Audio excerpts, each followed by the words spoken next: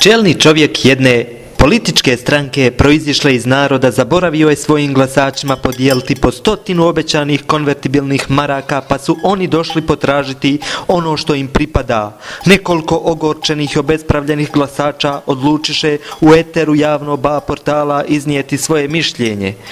Halo ba, šta oni misle? Da smo mi ovce, da smo vesla sisali, da se s nama mogu ko s kozama poigravati, ba hoće malo sutra, reče bez dlake na jeziku Mahir od Doboja. Ima nas iz gornjeg vakfa, iz donjeg vakfa, iz kendar vakfa, iz kulen vakfa, ma ima nas i sa brčaršije, ako bude trebalo, ne do Allah, potezat ćemo i čakije, reče jedan proćelavi tip koji se predstavio kao Buco, dok čekaju svoju stojadinku Buco, Mahir i ostali Je. nastavljaju Je. pasti travu. Svu ćemo je bolanjara ne popasti, uglas nam vele.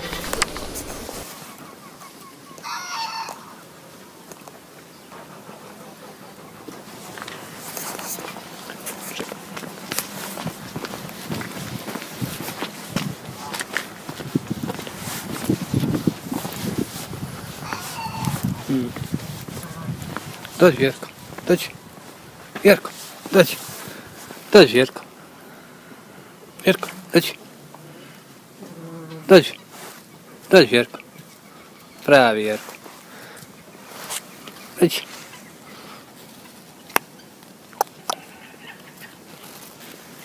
Право, Ярко.